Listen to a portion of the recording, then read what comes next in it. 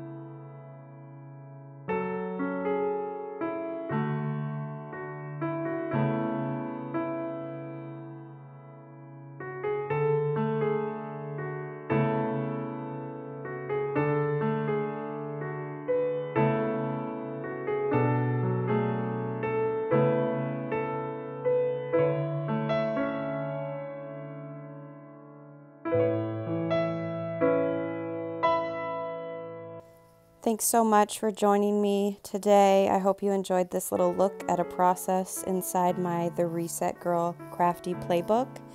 And I hope you got a little inspiration about how to do this month's Faithful Life Challenge. I normally do it in my Bible, but I've really loved working on these art journal pages, and I think I'm going to stick it out the rest of the month. So, hope you guys enjoyed, and I can't wait to see where it all leads.